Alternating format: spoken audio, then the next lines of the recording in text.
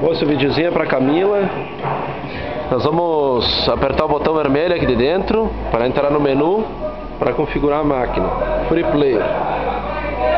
Acompanha as, as letras vermelhas. Opção de games.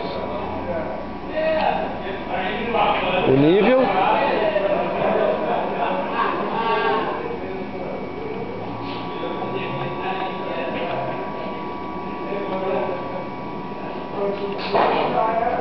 Salve Exit. Vamos a Coin Options. Confirma. Primeiro item.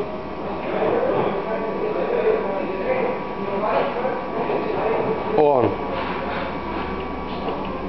Salve Exit.